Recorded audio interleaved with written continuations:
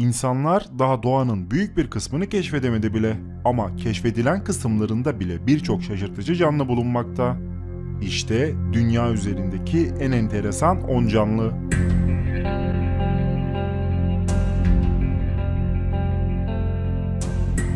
Japonya ve Bering Denizi çevresinde yaşayan bu canlıların boyutları 2 metreye kadar yaklaşmakta. Ortalama 55 yıl yaşayan bu canlılar çeşitli deniz canlıları ile beslenir. Dikenli bir kuyruğa sahiptir ve gözleri düşmanlarına korku vermektedir.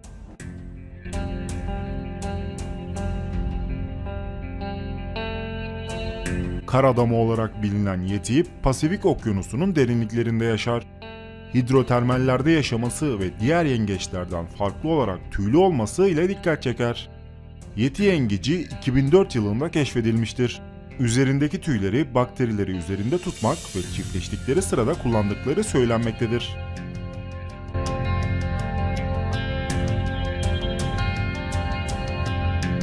Çin'de bulunan dev Çin semenderi 2 metreye kadar uzayabilmektedir. Bu hayvanlar genellikle gece hayvanlarıdır. Nehirlerin karanlık yerlerinde gizlenen kerevit, balık, solucan ve salyangoz gibi çeşitli hayvanlarla beslenirler. Bu tür yok olma tehlikesiyle karşı karşıyadır.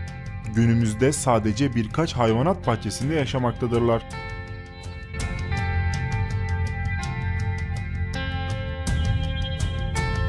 Japon örümcek yengeci olarak bilinen bu yengecin ayakları arasındaki açıklık 4 metreye kadar uzayabilmektedir.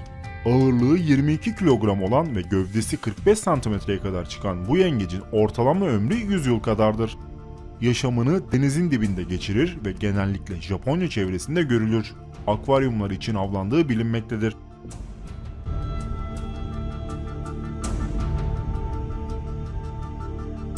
Yüz yılı aşkın süredir görülmeyen dev kral ringa balığı geçtiğimiz yıllarda Norveç kıyılarındaki bir balıkçı tarafından ölü olarak bulunmuştur. Kılçıklı balıkların en büyük türlerinden olan bu balıkların inanışa göre derin sularda çok daha büyük akrabaları bulunmaktadır. Bu dev balıkların günümüzde tekrar yaşadığını henüz bilemiyoruz.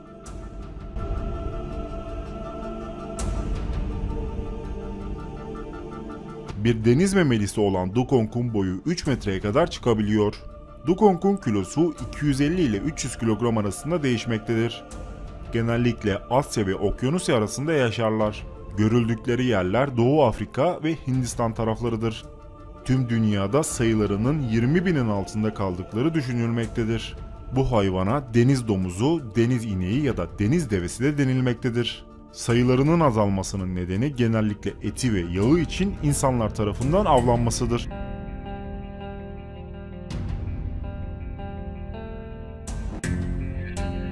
Atlantis Okyanusu'nda bulunan bu ilginç türün dişleri insan dişlerine oldukça benzemekte. Bir araştırma gemisi tarafından bulunan bu canlıların dişleri aynı insan dişleri gibi ve oldukça korkutucu durmaktadır. Okyanusun 6000 fit altında yaşadığı için karşılaşma ihtimalimiz oldukça düşük.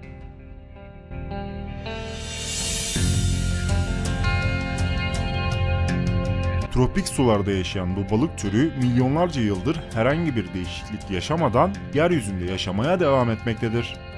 Daha önce bilim insanları tarafından keşfedilen fosilleri incelendiğinde bu balıkların yapılarının herhangi bir değişiklik yaşamadığı gözlenmiştir. Bu balıkların bu yapılarını bu şekilde nasıl koruduğu günümüzde araştırılmaktadır.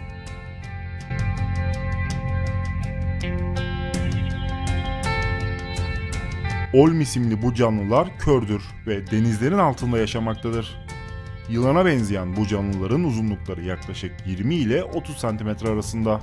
Çok yumuşak ve kırılgan uzuvları bulunmaktadır. Derisi hem dokusal hem de renk olarak insan derisine oldukça benzer.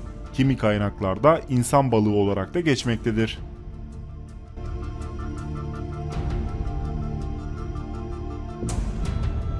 Ankara tavşanı diğer adıyla Angora tavşanı uzun ve yumuşak tüyleriyle tanınır.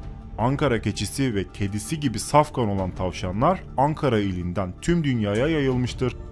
Ankara tavşanının nesli 1723 yılında Türkiye'de tükenmiştir. Yüzyıllar sonra Almanya'da yaşayan bir Türk vatandaşı tarafından Türkiye'ye yeniden getirilerek Kayseri'de bir çiftlikte yeniden üretilmeye başlanmıştır. Bugün bu tavşan türü sadece yün üreticileri tarafından özel olarak yetiştirilmektedir. Dünyada Ankara tavşanı yetiştiriciliği yaygın olarak yapılmakta. Günümüzde Çin Halk Cumhuriyeti, Fransa, Macaristan gibi ülkeler bu tavşandan yün üreten başlıca ülkelerdendir.